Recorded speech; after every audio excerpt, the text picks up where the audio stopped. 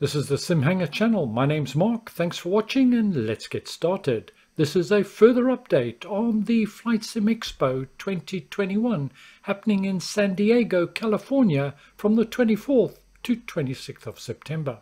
If you want to catch some highlights from the show, you can check some of the videos that I've already produced. Links to all these videos are in the notes below.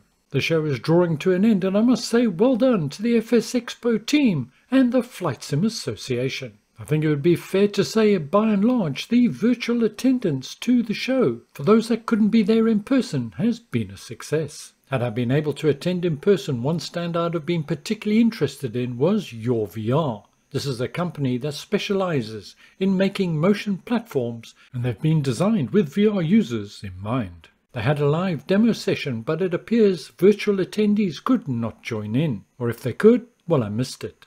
Anyway, I thought I'd just bring you this short video just to show off some of their products. Motion platforms are slowly becoming less expensive, and perhaps this is a glimpse into the future of VR flying. Yaw VR, which is a Kickstarter funded company, first caught my attention with the Yaw VR 1. The initial Yaw VR unit is still available for sale today and details on their website. But what I was particularly interested in is the new Yaw VR 2 motion platform. The Yaw 2 I understand is brand new and I think it's now available for pre-orders. It'll be coming in a range of models with different options for motion platforms and for the seats. All links in the notes below. But for now we'll just have to settle for excerpts of a demonstration using X-Plane 11 with some dodgy piloting skills.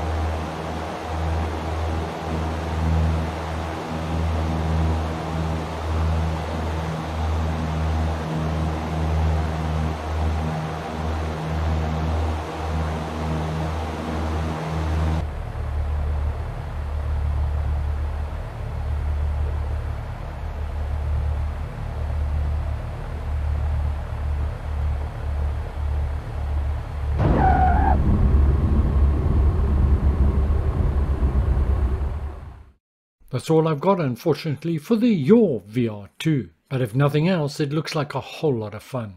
The chair also vibrates, so you're really in the immersion zone. And hopefully we'll be hearing more of this company in the future.